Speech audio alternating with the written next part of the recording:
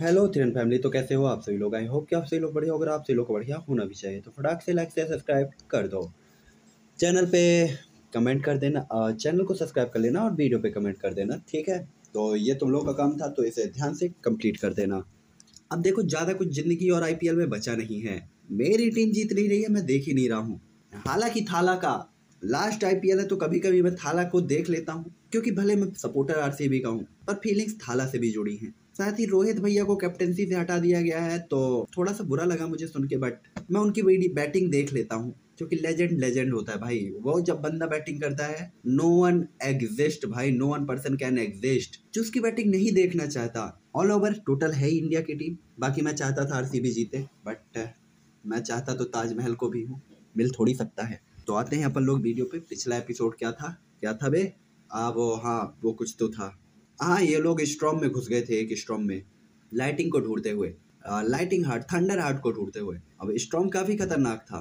साथ ही स्ट्रॉम में डिंगू कहती है कि देखो भाई ट्रैवल करने में लंका लग सकती है। लेकिन जॉन कहता है, यार, मारो यार, अब मरेंगे या करेंगे, कुछ तो करेंगे, क्या कर सकते ऑप्शन नहीं है कोई। जो देखकर डिंगू कहती है हाँ बात तो सही है ऑप्शन तो कुछ भी नहीं है मतलब जाना तो पड़ेगा ही। और डिंगू सीधे स्ट्रॉम के अंदर जाने लगती है। साथ ही हम देखते हैं, इन लोगों को स्ट्रॉम में जाते हुए, एक सिप भी दिखाता लेकिन इन्हें नहीं पता था ये कौन सा सिप है। और ये लोग उसके बारे में ज़्यादा जाँच पड़ताल भी नहीं करते। देन हम लोग देखते हैं जब ये लोग स्ट्रॉम के बीच से सटल कर रहे होते हैं तब ये फेस करते हैं एक सुपर स्ट्रॉम को। जो सुपर वाइड स्ट्रॉम होता है, वो इतना खतरनाक होता है कि इन्हें अपनी तरफ़ खींच रहा होता है। तभी कुछ पंजे ने जकड़ लेते हैं। जो देख कर लेजी की भी आँखें खुल जाती है और वो कहता है, कौन है? जो देख कर जॉन कहता है, यहाँ के डॉन है। तभी लेजी दो लाइटिंग बोल्ट भेज कर यहाँ पे एट क्लॉ ईस्ट की लंका लगाने लगती तभी जॉन कहता है, छोड़ दो। यही हमें स्टॉम से बाहर निकालेंगे और एट क्लब ईस्ट करते भी ऐसा ही है और जो है ना उसकी टीम को यहाँ से बाहर निकाल देते हैं। साथ ही क्योंकि वो बैरियर नहीं तोड़ पा रहे थे, इसीलिए वो जो उसकी टीम को छोड़ देते हैं। और ये लोग आ जाते हैं ग्रेव यार्ड पे। मतलब वहाँ काफ़ी सारा मलबा वलबा जमा होता है सिप टूटे डले होते हैं। और वहाँ पे दस बारह सिप होते हैं जो वहाँ की लूटपाट कर रहे थे। तभी उनमें से एक सिप की नज़र जॉन के सिप पे पड़ गई थी। और वो लोग काफ़ी ज़्यादा अलर्ट हो गए होते हैं आर की अच्छी हालत को देखकर। एपिसोड मैंने वही एंड किया था तो ये जो एपिसोड है जस्ट वहीं से स्टार्ट होता है तो आओ देख लेते हैं इस एपिसोड में क्या होने वाला है। तो इस एपिसोड की स्टार्टिंग में तुरंत ही दो सिप आते हैं, जो फीएलएस आर्क की देख रेख करते हैं। और ये देखकर कि फीएलएस आर्क फुल्ली परफेक्ट है। वो लोग थोड़ा सा अलर्ट हो गए होते हैं और तुरंत ही सेंटर में जाकर फीएलएस आर्क को खेलने के लिए और ज़्यादा आर्क को बुलाने लगते हैं। तभी ये सभी सिर्फ़ जियोयान के फीएलएस आर्क की तब देखते हुए कहते हैं, इसके अंदर से कोई ब्रीथ हो रहा फील नहीं हो रहा। ही क्योंकि फीएलएस आर्क पूरी तरीके से प्रोटेक्टेड और सील था, इसीलिए ये लोग कुछ भी नहीं देख सकते थे। वे केवल अपनी स्पिरिचुअल पावर का यूज़ कर सकते थे, लेकिन ऑब्वियसली स्पिरिचुअल पावर ही इसका सामना नहीं कर पा रही थी। तभी एक बंदा तुरंत कहता मैंने पहले भी इस जहाज़ का सामना किया है। ऐसा लगता है कि ये एट क्लब वाइड बीच से घिरा हुआ है। मुझे उम्मीद नहीं थी कि सिप की पतवार अभी तक बरकरार होगी। अगर ऐसा है तो फिर सिप में कोई प्रॉब्लम नहीं होना चाहिए। ऐसा कैसे हो सकता है? साथ ये लोग ऑब्वियसली इस फीएलएस आर्क के बारे में पहले ही देख रेख कर चुके थे। तभी एक बंदा कहता है क्या हमें खोज करनी चाहिए। और सभी आर्क एक दूसरे के साथ डिस्कस कर रहे होते हैं। क्योंकि अगर इसमें जोखिम बढ़ा था तो वो बिल्कुल भी इसके बारे में जोखिम नहीं उठा सकते थे। तभी एक बंदा कहता है, जहाज़ की जो सामग्री है, वो काफ़ी अब नॉर्मल है, जो हर किसी के पास नहीं होती। साथ ही अगर इस सिप में कोई भी ब्रीथ नहीं है तो ये बात हो सकती है कि यहाँ पे अंदर सभी कोई मर चुके हों। और अगर हम इस सिप को बेच सकते हैं तो हमें इससे काफ़ी ज़्यादा कीमत मिल सकती है। लेकिन यहाँ पे ये सभी लोग काफ़ी ज़्यादा अनलोन फील कर रहे थे पी की पोजीशन और सिचुएशन से। इन्हें नहीं पता था कि अंदर क्या हालत है। सच उन्होंने ये भी देखा था कि पतवार अभी भी बाकी है, इसीलिए काफ़ी अब नॉर्मल है और इससे उन्हें काफ़ी ज़्यादा प्रॉफिट होगा। इसीलिए ये लोग फीएलएसआर के बारे में पता लगाने के बारे में सोचते हैं और तुरंत ही कहते हैं, हर कोई सावधान रहे। अगर जहाज़ में इंटर करने के बाद कुछ भी गलत होता है तो तुरंत पीछे हट जाए। और फीएलएसआर के पास और भी ज़्यादा काफ़ी सारे छोटे छोटे सिप इकट्ठा हो जाते हैं। और वे सभी सिप में काफ़ी इंटरेस्ट रखते थे, जो बिना डैमेज हुए सुपर स्टॉम से बच गया। और फीएलएसआर में इंटर होने के लिए लगभग सौ लोगों ने एक टीम बनाई थी। साथ ही वो जानते थे कि फीएलएसआर प्रोटेक्टेड है। इसीलिए हाई क्वांटिटी में कोई भी एक्शन नहीं लेते, बल्कि ये केवल सौ लोगों को जाँच के लिए भेजते हैं। साथ ही ये सैकड़ों फिगर तुरंत ही अलर्ट तरीके से फीएलएस आर के अंदर एंटर होती हैं। और फीएलएस आर का जो बैरियर था, उसमें गायब हो जाती है। और कुछ टाइम के बाद ऐसा फील होता है जैसे ये सभी फिगर समंदर में गायब हो चुकी हों और इनकी कोई खबर नहीं मिलती, जिससे एक दर्जन प्लस सिप में जो बाकी की फिगर्स होती है, एक दूसरे को देख रहे होते हैं। जिसके बाद फिर सौ और लोग फीएलएस आर के अंदर इंटर होते हैं, लेकिन रिज़ल्ट वही होता है। 200 से ज़्यादा लोगों के इंटर होने के बाद भी कोई आवाज़ और कोई खबर नहीं थी, जो देखकर सभी लोग कहते हैं यार इस जहाज़ में कुछ गड़बड़ है। पहले ग्रुप की कोई खबर नहीं थी और अब दूसरे ग्रुप की भी कोई खबर नहीं है। उन्हें समझ में आ गया होता कि कुछ तो गड़बड़ है रे बाबा। वो तुरंत ही कहते हर कोई, हमारा इरादा आपको अपमानित करने का नहीं है। मैं बस आपसे एक एहसान मांगना चाहता हूँ। मैं बदले में रिसोर्सेज का यूज़ करने को तैयार हूँ। और उसी टाइम पे, जब ये सिर्फ़ यहाँ से जाने के लिए तैयार थे और और ज़्यादा लोग फियरलेस आर्क में एंटर नहीं होना चाहते थे, तभी फियरलेस आर्क से एक आवाज़ आती है और फियरलेस आर्क का बैरियर धीरे धीरे ओपन होता है। साथ ही पहले इंटर करने वाले लगभग 200 लोग मामूली घायल हुए थे, लेकिन उनमें से कोई भी जान से नहीं मरा था और हैवीली इंजर्ड नहीं था। चारों तरफ़ दर्जन सिप थे और थोड़ी देर की चुप्पी के बाद उनमें से एक आदमी, जो साफ़ तौर पर इन लोगों का लीडर लगता है, धीरे से कहता है, वो तुरंत ही कहते हैं, हम केवल स्ट्रॉन्ग में जीते हैं। हमने कभी भी किसी भी फाइट में पार्टिसिपेट नहीं किया, न ही किसी बर्ल्ड के बीच में। इसलिए मुझे उम्मीद है कि सीनियर किसी को भी प्रॉब्लम में डालने के लिए मजबूर नहीं होंगे। तभी जान कहता बेशक ये कोई भी फाइट नहीं है। मैं सिर्फ़ इतना चाहता हूँ कि आप रास्ता दिखाएँ हमें और इसमें हमारी मदद करें। इनाम के तौर पर मैं आपको पाँच लाख एमोटल कोई पिल्स दूँगा। ये सुनकर तो आदमी हैरान रह जाता है कि पाँच लाख डिवाइन कोई पिल ऑब्वियसली ये कीमत अभी भी उसके लिए काफ़ी ज़्यादा अट्रैक्टिव नहीं थी। लेकिन उसके बजाय फियरलेस आर्क पर मौजूद 200 लोग और उनके चेहरे की जो झिझक होती है, उसके कारण ये सीनियर जो लीडर होता है, वो झिझक रहा होता है। और तुरंत ही कहता है, आप कहाँ जा रहे हैं? क्योंकि ये पर्सन उन 200 लोगों की जान नहीं देना चाहता था। हो सकता है कि इनकी जान इंपॉर्टेंट ना हो, लेकिन एक लीडर के तौर पर अगर वो सिचुएशन में सीधे हार मारने का फैसला करता है तो बहुत से लोग उसके इस फैसले से दुखी हो सकते थे और वो लोगों के बीच में अपने ट्रस्ट को खो सकता था।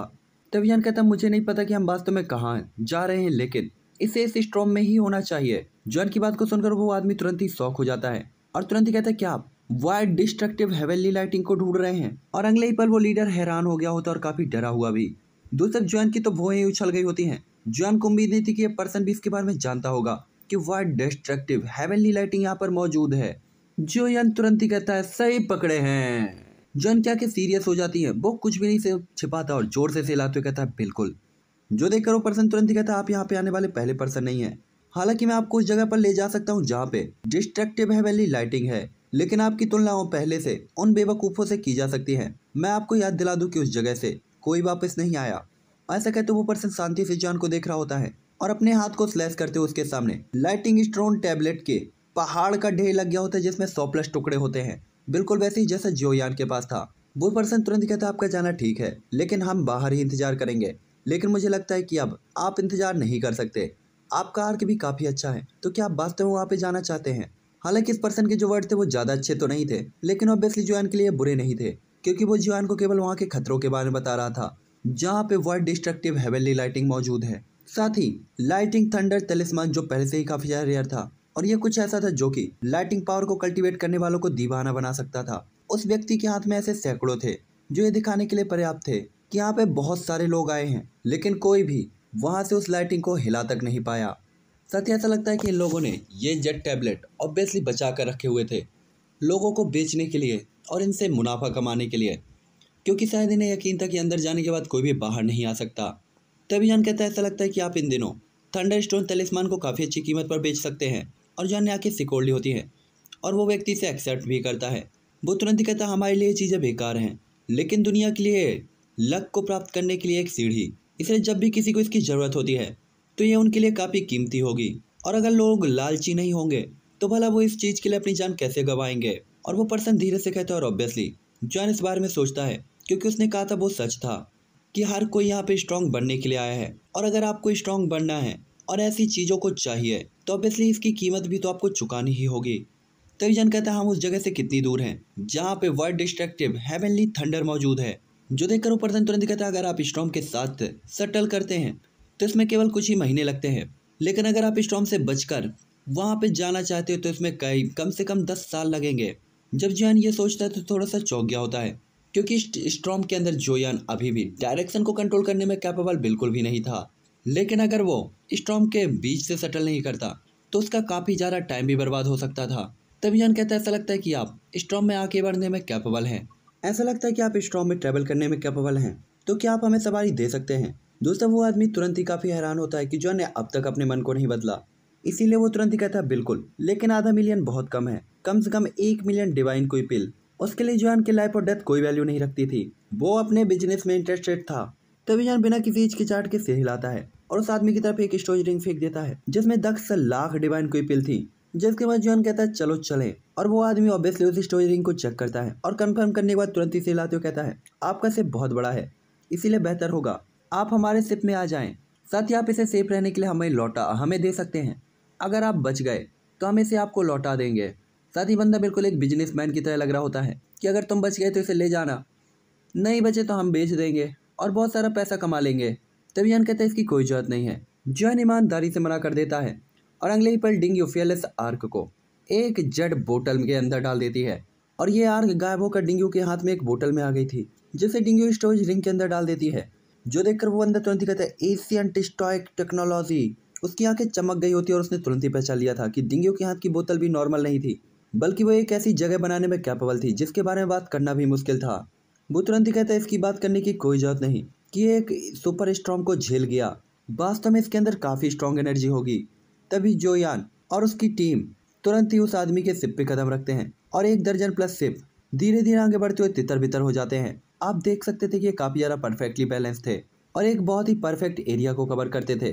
साथ ही इनकी नज़दीकी को देखते हुए ये बताया जा सकता था कि अगर इनमें से कोई भी सिप प्रॉब्लम में है तो ये तुरंत ही आकर उसकी मदद भी कर सकते थे।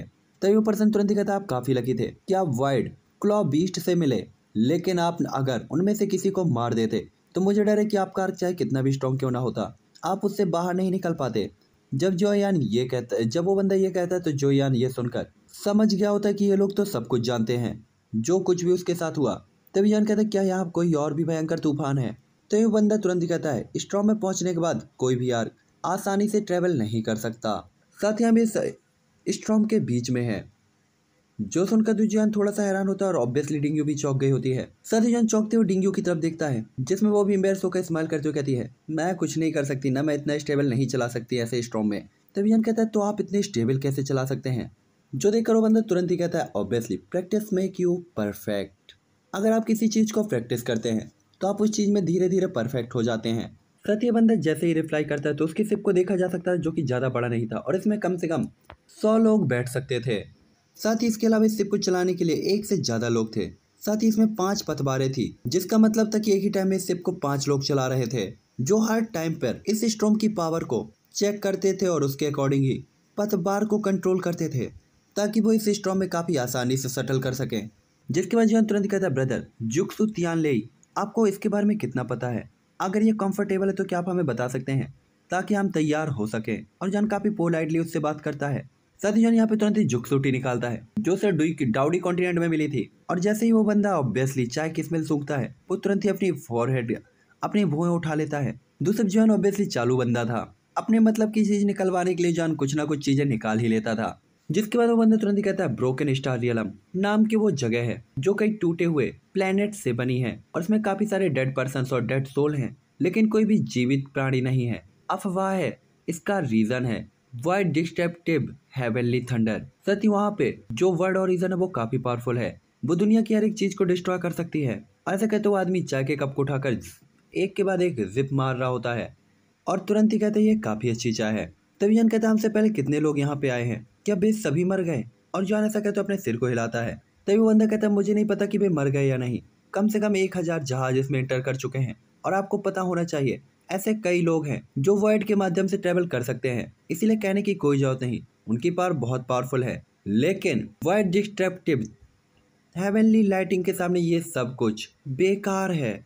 और ब्रोकन स्टार रियल में इंटर होने के बाद, उनके से ब्लैक लाइटिंग के कार्ड डिस्ट्रॉ हो गए। वो सभी ज़िंदा चीज़ों को मिटा सकती है। ऐसा कहते हुए आदमी थोड़ा सा भारी इंप्रेशन के साथ जॉन को देखता है। जैसे वो जॉन को धमकी दे रहा हो कि तुम्हें भी वहाँ नहीं जाना चाहिए। तो जॉन कहता है, ऐसा लगता है कि वास्तव में थोड़ा मुश्किल है। और जॉन की आवाज़ काफ़ी कोल्ड होती है। वो तुरंत कहता है, भाई, ये चाय भी काफ़ी अच्छी है और आप लोग भी काफ़ी अच्छे हैं। मेरी बात सुनो, वो जगह बेहद खराब, खतरनाक है। अभी भी वापस लौटने के लिए बहुत देर नहीं हुई है। स्ट्रांग होने का पीछा करना बहुत अच्छी बात है, लेकिन अगर आप ज़िंदगी खो देते हैं तो सब कुछ बर्बाद हो जाएगा। तो क्या सब कुछ बेकार नहीं होगा? उसे उम्मीद थी कि जॉन उसकी बात सुनकर हार मारने को तैयार होगा, क्योंकि वो नहीं चाहता था कि जो यान बेमौत मारा जाए। सत्य उसकी उपस्थिति को देखते हुए जान समझ गया होता है कि ये ऑनेस्टली उसे समझा रहा है कि वहाँ खतरा कितना खतरनाक है। लेकिन जॉन के पास भी कोई भी ऑप्शन नहीं था यार। जन तुरंत ही कहता है आपकी काइंडनेस के लिए बहुत बहुत धन्यवाद ब्रदर जब से मैंने कल्टीवेशन करना स्टार्ट किया है, तब से मैंने काफ़ी सारे खतरों का सामना किया, जिसमें अनगिनत लाइफ और डेथ भी शामिल है। मैं यहाँ आने से पहले भी मौत से बाल बाल बचा हूँ। साथ ही डिस्ट्रैक्टिव हेवनली लाइटिंग मुझे ये पाना बहुत ज़रूरी है। और जन इस्तेमाल करते हुए उसकी काइंडनेस को ऑब्वियसली एक्सेप्ट नहीं करता। तो वो बंदा कहता है, मैं समझ नहीं पा रहा हूँ। हालाँकि मुझे नहीं पता कि आपकी पावर किस लेवल पर पहुँच गई है और आप किस रियलम तक पहुँच गए हैं। लेकिन मैं हमेशा से स्पष्ट तौर पर देख सकता हूँ कि यहाँ तक पहुँचना मेरी ताकत का सबूत है और मेरा एक्सट्रीम भी। लेकिन मैं फिर भी भाई से पूछना चाहता हूँ, कि आखिरकार इस कल्टीवेशन का लास्ट स्टेज क्या है? और ऐसा कहते तो वो बंदा जो यान की तरफ़ देखता है, क्योंकि उसे नहीं पता था कितने सारे लोग इस चीज़ का पीछा क्यों कर रहे हैं। अपनी लाइफ और डेथ का की परवाह किए बगैर। और अगर वो इसे पा भी ले तो भी क्या होगा? तभी जान कहता है, मेरे ब्रदर की लोअर पावर के साथ। मुझे डर है कि लोअर रियल में वो अनबीटेबल है। इसलिए आप अभी भी सब कुछ जोखिम में क्यों डालते हैं? ये जानते हुए भी कि आप मारे जाएँगे। आपको अभी भी इस वाइट डिस्ट्रक्टिव हेवनली लाइटिंग को ढूँढने की क्या ज़रूरत है, जिसे प्राप्त करना इम्पॉसिबल है। ये बंदा अभी भी सेटिस्फाइड नहीं था। उसे पता था कि यहाँ बहुत सारे लोग आए, जो वहाँ जाने के लिए तैयार थे और मरने के लिए भी तैयार थे। और ज़ाहिर तौर पर उन सबकी ताकत काफ़ी स्ट्रांग थी। तो फिर ये लोग आना बंद क्यों नहीं हुए? क्या ये चीज़ वास्तव में सभी लोगों को अट्रैक्ट करने के लिए इतनी कीमती है? वो बंदा अभी भी काफ़ी कंफ्यूज होता है, और उसे उम्मीद थी कि वो इसका आंसर जान से सुन पाएगा। दोस्तब जान जो जुक्सी टी पी रहा होता है, उस आदमी के समालों के सामने थोड़ा सा स्माइल करता है, जिसके बाद जान कहता है, अगर आप किसी माउंटेन पर नहीं चढ़ते तो आप कैसे जान पाएँगे कि वो माउंटेन कितना ऊँचा है? पावर का कोई एंडिंग पॉइंट नहीं हो सकता। लेकिन हर किसी की रिस्पॉन्सिबिलिटीज काफ़ी अलग अलग होती हैं, और कुछ रास्तों को यूँ ही नहीं रोका जा सकता, क्योंकि जिस टाइम पे आप कदम आगे उठा देते हैं, वही आपकी डेस्टिनी होती है, जिसके बाद आप पीछे मुड़कर देखने और रुकने में कैपेबल नहीं होते, जो उस आदमी के थॉट्स को सॉल्व नहीं करता, क्योंकि उसकी थॉट थिंकिंग और पावर एक अलग रियलम और सिचुएशन में थी। साथ ही चीज़ों के बारे में, उसके तरीके, सोचने के और उनके बारे में बात करने के तरीके अलग थे। ये पर्सन केवल अपने और अपने लोगों को प्रोटेक्ट करने के लिए और रिसोर्सेज को खोजने के लिए ज़िंदा रह सकता है और वो अपने हर एक काम में अलर्ट रह सकता है। वो किसी भी फाइट में पार्टिसिपेट नहीं लेता और अगर ये ज़रूरी नहीं है तो केवल भाग जाओ और वो हर चीज़ से बचने की कोशिश करता है। इसलिए उसके अपने रीज़न और अपने इफ़ेक्ट हैं। तभी वो बंदा तुरंत ही कहता है, मैं इसे साफ़ तौर पर नहीं समझ सकता। शायद मेरा लेवल बहुत कम है, लेकिन मेरा नाम चांग यू हुआ है। अगर आप इस हेवनली लाइटिंग से बच सकते हैं तो मैं आपको एक और ऐसी जगह के बारे में बता सकता हूँ, जिसकी कीमत इस लाइटिंग से कम बिल्कुल भी नहीं होगी।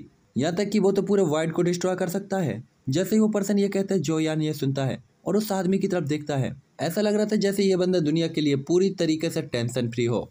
जिसके बाद जॉन तुरंत कहता है, उस सुराग के आधार पर सुधार उस सुराग को एक्सचेंज करने के लिए शर्तें क्या हैं? जो देखकर वो बंदा कहता है, अभी भी ये कहना जल्दबाजी होगी, इसलिए उस टाइम तक का वेट करना कोई प्रॉब्लम की बात नहीं। जब तक भाई ज़िंदा होकर बाहर आ सकते हैं ब्रोकन स्टार रियलम से, तब हम उन्हें इनके बारे में बता देंगे। चांग यू हुआ जॉन को धीरे से कहता है। साथ ही जॉन उसके बाद उससे ज़्यादा सवाल जवाब भी नहीं करता। साथ ही एक एक बात तो अब साफ़ थी कि वो इस स्ट्रॉम के सेंटर तक पहुँच गए थे और जो यान को, अपने रियल टारगेट को फॉलो करना था जो कि था। वाइड डिस्ट्रक्टिव हेवनली लाइटिंग देखते ही देखते महीना बीत गया होता और इस दौरान उन्होंने कई छोटे बड़े स्टॉम्स का सामना किया था और सबसे डीप एरिया में पहुँच गए होते हैं। जहाँ पे बंदा कहता है, हम लगभग वहाँ तक पहुँच चुके हैं, जहाँ पे ब्रेक इन स्टार रियलम है। और इससे गुजरने के बाद हम वेस्ट सी के वाइड में नहीं रहेंगे, बल्कि नॉर्थ मिंग वाइड टेरेटरी में एंटर होंगे। ऐसा कहते चांग हु युआ यू हुआ खड़ा होकर जॉन को बताता है। साथ ही चारों तरफ़ देखने पर माहौल काफ़ी शांत होता है, और उनके सामने जो कुछ भी दिखाई देता है, वो स्टार्स का एक ग्रुप होता है। ऐसा लग रहा था जैसे ये आपस में गुथा हुआ हो। और ये सभी स्टार आपस में जुड़े हुए थे। हालाँकि इनमें अभी भी कुछ दूरी बाकी थी। साथ ही दूर से धीमी, गड़गड़ाहट की और दहाड़ की आवाज़ सुनी जा सकती थी। और इस जगह के पास पहुँचने के बाद चांग यू हुआ रुकने का ऑर्डर देता है। साथ ही लेजी भी इस स्लिप द्वारा बताई गई डायरेक्शन को देखती है। ज़ाहिर सी बात चांग यू हुआ ने जॉन को धोखा नहीं दिया था। वो तुरंत ही कहता आपके आगे ब्रोकन स्टार रियलम है। हम उसमें इंटर होने की हिम्मत नहीं रख सकते। ध्यान रखे ब्रदर, ऐसा कहते हो चांग यू हुआ। जोयान को ग्रीट करता है। तभी बदले में जोयान भी उसे ग्रीट करता है और अपने सिप को निकालता है। और तुरंत ही कहता है, धन्यवाद भाई। तभी चांग हुआ, तुरंत ही कहता है, जब तक आप सिप बाहर आ सकते हैं, आपको इन चीज़ों के लिए ज़्यादा दुक्का मुक्की नहीं करनी चाहिए और जान को चेतावनी देता है। तथी कुछ बातचीत के बाद जोयान और बाकी के दो फेले सार्क पर लौट आए होते हैं। चांग यू हुआ अभी भी बहुत ज़्यादा डरा हुआ लग रहा था, इसलिए वो यहाँ पे नहीं रुकता और जल्दी ही अपने ग्रुप के साथ निकल गया होता है। दोस्तों जान भी अपनी आँखें सिकोड़ लेता है और धीरे से अपने सामने ब्रेक इन स्टारियलम को देखता है। यहाँ पे केवल एक स्टार नहीं, बल्कि ब्रेक हुए स्टार्स के काफ़ी सारे स्टार एक ही जगह पर इकट्ठा हो गए होते हैं और एक अजीब सी जगह बना रहे होते हैं। साथ ही ब्लैक लाइटिंग तुरंत ही फीएलएस आर्क की तरफ़ बढ़ने लगती है। जब फीएलएस आर्क धीरे धीरे ब्रोकन स्टार इलम के पास पहुँचता है, वो केवल ब्लैक लाइटिंग को गरजता हुआ देख सकता था और इसकी बमबारी उसके डिफेंस बैरियर पे जाकर टकराती है और डिफेंस बैरियर ब्रेक हो जाता है और बची हुई पावर तुरंत ही फीएलएस आर्क से जाकर टकराती है, जिससे इसकी पतवार में एक बड़ा सा छेद हो गया होता है। और सुपर स्टॉम के सामने जो फीएलएस आर्क बिल्कुल भी डैमेज नहीं हुआ था, वो इस ब्लैक लाइटिंग के सामने सीधा ही डैमेज हो गया था, जिससे पूरी पतवार हिलने लगती है, जिससे सबकी रूह काँप उठी होती है। तभी कहता है, डिंगू सबसे फास्ट स्पीड का यूज़ करके अंदर जाओ। जॉन जैसे चिल्लाता उसे उम्मीद नहीं थी ब्लैक लाइटिंग इतनी खतरनाक होगी। साथ ही लाइटिंग केवल इसी एरिया पे नहीं, बल्कि पूरे ही वाइड में मौजूद थी। दूसरी डिंगी तुरंत ही हिलाती और ज़्यादा सोचे बिना ही फीएलएसआर को सबसे फास्ट स्पीड के साथ सेटल करती है। और फीएलएसआर धुएँ के गुच्छे में बदल गया होता है और ब्रोकन स्टारियलम में चला गया होता है और सीन एक पल में बदलता है फीएलएसआर एक सांस में उसमें घुस गया होता है और जान की आँखों के सामने एक अजीब वर्ड दिखाई देता है और उसे देखने पर पूरा जो वर्ड था, वो एक प्रिज्म की तरह लग रहा था और पूरा आसमान तीन पार्ट में डिवाइड लग रहा था। सभी आइलैंड एक दूसरे से गुथे हुए थे और यहाँ पे हर जगह पर मलबा था। ठीक वैसे ही जैसे पूरे वाइड के सी में एक ग्रुप ग्रेवयार्ड बना दिया गया हो। और कूड़े के ढेर ने यहाँ पे हर एक चीज़ को गंदा करके रखा हो। तभी लेजी तुरंत ही कहती है, सावधान रहें। और वो अपने सिर के ऊपर एक ब्लैक लाइटिंग को देखती है। तो तुरंत ही अपनी हथेली को उठाती है और उसकी बॉडी से लाइटिंग की काफ़ी रेज निकलती हैं, जो ब्लैक लाइटिंग की तरफ़ बढ़ती हैं। और दोनों ही लाइटिंग एक दूसरे से टकरा कर ब्लास्ट हो जाती है और इनकी डिस्ट्रक्टिव पावर आस पास की तरफ़ बढ़ती है। तभी सभी लोग अपनी सेफ्टी के लिए ओरिजन क्विक का इस्तेमाल करते हैं। साथ ही एक झटके के साथ पूरा ही स्पेस काँप गया होता है और जान तुरंत ही डिंगियो को फेले सर को हटाने के लिए कहा होता है। और उसे और जिया जेंगुई को स्पेस रिम में आने के लिए कहा होता है। साथ ही लोग, अब obviously white destructive heavenly thunder lighting area में एंटर हो चुके थे। हालाँकि लेजी के आसपास होने के कारण ऑब्वियसली इन्हें ब्लैक लाइटिंग से डरने की कोई ज़रूरत नहीं थी। हालाँकि लेजी अपने सामने ब्लैक लाइटिंग को देखकर थोड़ा सा बेचैन होती है, लेकिन वो ऑब्वियसली डायरेक्शन को भी लीड कर रही होती है, जिसके बाद वो तुरंत ही कहती, चलो चले। जिसपे जॉन तुरंत ही से हिलाता है, और वे दोनों ही लोग आगे की तरफ़ बढ़ते हुए ब्रेकिंग स्टार रियलम की तरफ़ जाने लगते हैं। उनका टारगेट साफ़ तक उन्हें इसके कोर पॉइंट का पता लगाना है। जहाँ पे वाइट डिस्ट्रक्टिव हेवनली लाइटिंग है। कुछ दिनों बाद लेजी और जोयान आराम करने के लिए पहली में छिपे हुए होते हैं और सबसे महत्वपूर्ण बात, वो यहाँ के प्लेस और यहाँ की सिचुएशन के बारे में थोड़ी सी डिटेल को भी देख रहे होते हैं और यहाँ के एक्सपीरियंस को गैदर कर रहे होते हैं। टाइम टाइम पर आसमान से जंगली लाइटिंग की, गड़गड़ाहट की आवाज़ आती है जो बड़े एरिया में एकत्रित होती है। साथ ही इस ब्लैक लाइटिंग का कोई भी टारगेट नहीं था। साथ ये काफ़ी खतरनाक थी और सभी जगह फैल रही थी। जैसे ज़मीन में बड़े बड़े गड्ढे हो चुके होते हैं। साथ ही जानो जी के इंटर होने के बाद उन्हें पता चला था कि वे यहाँ अकेले नहीं थे। उन्होंने यहाँ पे काफ़ी सारी फिगर्स देखी थी। हालाँकि जॉन ने अपने और लेजी के और को छिपाने के लिए अपनी कुई का यूज़ किया था। इसीलिए फ़िलहाल किसी ने भी उन पर ध्यान नहीं दिया। साथ ही जॉन और लेजी के टारगेट बहुत साफ़ थे कि वे डीप एरिया की तरफ़ जा रहे हैं। और जब वो ऊपर की तरफ़ सिर उठाकर देखते तब उन्हें पता चलता है कि वहाँ ऊपर आसमान में पहले से ही लाइटिंग क्लाउड की एक मोटी मोटी परत ढकी हुई है। और अंधेरा इतना ज़्यादा है कि आप कुछ भी देख नहीं सकते। और क्लाउड की क्लोजनेस को आप ऐसे देख सकते हैं कि अगर आप हाथ उठाते हैं तो उन्हें पकड़ सकते हैं। ऐसा आपको लग रहा था। साथ ही जैसे जैसे आगे बढ़ते जा रहे होते ब्लैक लाइटिंग और भी फास्ट होती जा रही होती है। तभी जान तुरंत कहता अगर हम इस तरीके से दौड़ेंगे तो हमारे टुकड़े टुकड़े कर दिए जाएँगे। हमें कोई और रास्ता ढूंढना होगा। और ऐसा कहते जान अपनी आँखें सिकोड़ लेता है, क्योंकि जितना अंदर वो जाता जा रहा था, ये ब्लैक लाइटिंग उतनी फास्ट और काफ़ी हार्ड दिखाई देने लगी थी। और ऐसा लग रहा था कि इनके पास अपनी खुद की एक स्पिरिचुअलिटी और मेमोरी थी। और ये किसी भी लिविंग चीज़ पर तब तक अटैक करेंगी जब तक कि वो धूल में टुकड़े टुकड़े नहीं हो जाती। सदी लेजी थोड़ा सा घबरा गई होती और फिर अपने हथेली ने ब्लैक लाइटिंग को देखा और लेजी अपने मुँह को खोलकर उस लाइटिंग को स्वेलो कर लेती है और उसे रिफाइन भी फोर्सफुली कर रही होती है। और अगले ही पर लेजी ब्लैक लाइटिंग के नीचे आ जाती है। और वो ये देखना चाहती थी कि क्या वो जो सोच रही वो सही है। और अगले ही पल घने बादलों से अचानक ही गरजती हुई लाइटिंग पागलपन से बरसने लगती है और इस टाइम पे एक अजीब सीन दिखाई देता है कि जब ये लाइटिंग गिरती है तो इनमें से एक भी लाइटिंग लेजी के ऊपर नहीं गिरती, बल्कि इसके अगेंस्ट लेजी तुरंत ही अपने हाथ को बढ़ाकर एक और ब्लैक लाइटिंग को पकड़ लेती है और उसे स्वेलो कर लेती है। साथ ही ब्लैक लाइटिंग ऑब्वियसली लेजी के हाथों में कुछ भी और करने में कैपेबल नहीं थी। तभी लेजी एक और लाइटिंग को पकड़कर उसे जो यान को सौंप देती है और तुरंत ही कहते हैं इसे स्वेलो करके, उनका पार्ट बन जाओ। केवल इसी तरीके से हम डीप एरिया तक जा सकते हैं। लेजी ने जो कहा था वो केवल एक छोटा सा सेंटेंस फील हो रहा था। लेकिन जो यान जानता था कि उसकी फ़िज़िकल स्ट्रेंथ के साथ ब्लैक लाइटिंग को अगर वो दबाना चाहता है तो ये काफ़ी कठिन है। तभी लेजी कहती मैं आपको प्रोटेक्ट करूँगी। ये यूनर और कैलिन की तरह तो प्रोटेक्ट नहीं करने वाली ना? फॉलिंग आर्ट फ्लेम और डेमोनिक फ्लेम को जब जियो ने सॉलो किया था, जियो जियो और जियो लेना आ गए थे। यहाँ कहीं जियो ले ही ना आ जाए। तभी वो तुरंत कहती मैं आपको प्रोटेक्ट करूँगी। अगर आप इस ब्लैक लाइटिंग को रिफाइन नहीं कर सकते तो फिर आपको थंडर हार्ट को रिफाइन करने की कोई ज़रूरत नहीं। जॉन ओबियसली इस पर तुरंत ही सेल आता है।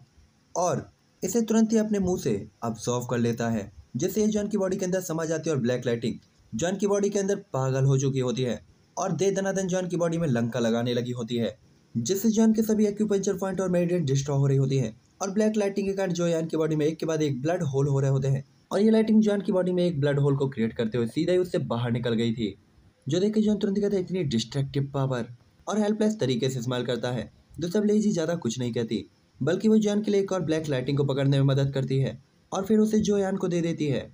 जॉन भी हार नहीं मानता और ब्लैक लाइटिंग को बर्दाश्त करना कंटिन्यू रखता है। उसकी बॉडी में चोटें ठीक होती जा रही थी और लगती जा रही थी। साथ इस बार जॉन को पता था कि पावर का यूज़ किए बिना इसे रिफाइन करना काफ़ी मुश्किल होगा। इसलिए जॉन फ्लेम हार्ट को एक्टिवेट करता है, और दोनों अलग अलग पावर थी, लेकिन दोनों की एनर्जी काफ़ी वाइड होती है, और फ्लेम हार्ट की पावर काफ़ी ज़्यादा एक्सपेंड होती है, जबकि लाइटिंग पावर अभी भी केवल लिमिटेड थी। इसलिए अपनी फ्लेम का यूज़ करते हुए जॉन को, इसकी पावर को कंट्रोल करने में मदद मिलती है, जिसके कुछ दिनों बाद जॉन दूसरी लाइटिंग को ऑब्जॉर्व करता है और उसे भी रिफाइन करके अपनी बॉडी का पार्ट बना लेता है। और इसके सक्सेसफुल रेट का रीजन जॉन की तीन आर्ट ऑफ़ फ्लेम थी, क्योंकि यही चीज़ ही इसके वाइल्ड डोरे को कंट्रोल कर सकती थी। हालाँकि इतने के बाद भी लेजी जॉन को तुरंत जाने नहीं देती, बल्कि पहले के बाद दूसरे दूसरे के बाद तीसरे तीसरे के बाद दसवें। लाइटिंग बोल्ट को जॉन को ऑब्जॉर्व कराना कंटिन्यू रखती है। और दूसरी तब जॉन बिल्कुल भी शिकायत नहीं करता क्योंकि ब्लैक लाइटिंग को रिफाइन करने से जोयान की फ़िज़िकल पावर तेज़ी से बढ़ रही होती है। और जॉन की लाइटिंग सी में टेन ब्लैक लाइटिंग कंडेंस हो चुकी थी और हर एक ब्लैक लाइटिंग 100 स्क्वायर मीटर के बराबर थी। और जॉन ने टेन ब्लैक लाइटिंग्स को ऑब्ज़र्व किया था, इसीलिए 2000 स्क्वायर मीटर का जो लाइटिंग सी था वो 3000 स्क्वायर मीटर का हो चुका होता है। हालाँकि भले इन्हें रिफाइन करने का ज़्यादातर क्रेडिट जो यान के फ्लेम ऑफ़ हार्ट को जाता हो, लेकिन फ्लेम ऑफ़ हार्ट भी जॉन की पावर्स का ही पार्ट थे। इसलिए यह कोई सरप्राइज़ की बात नहीं थी कि जॉन रिफाइन करने के लिए इस चीज़ का यूज़ कर रहा है। तभी लेजी तुरंत ही कहती है, जाते रहो और इस टाइम के दौरान इन्हें रिफाइन करना बंद मत करो। जितनी ज़्यादा ब्लैक लाइटिंग को तुम ऑब्जॉर्व कर सकते हो, करते रहो क्योंकि भले ही आप अंत में वाइट डिस्ट्रक्टिव हेवेली लाइटिंग को प्राप्त नहीं कर सकते, फिर भी आप अपनी फ़िज़िकल स्ट्रेंथ को तो बढ़ा ही सकते हैं। जिससे कम से कम आपकी जर्नी का मोटिव तो बेकार नहीं होगा। और अब वैसे लेजी का जो कहना था उसके अकॉर्डिंग वो वाइट डिस्ट्रक्टिव थंडर लाइटिंग को महसूस कर सकती थी।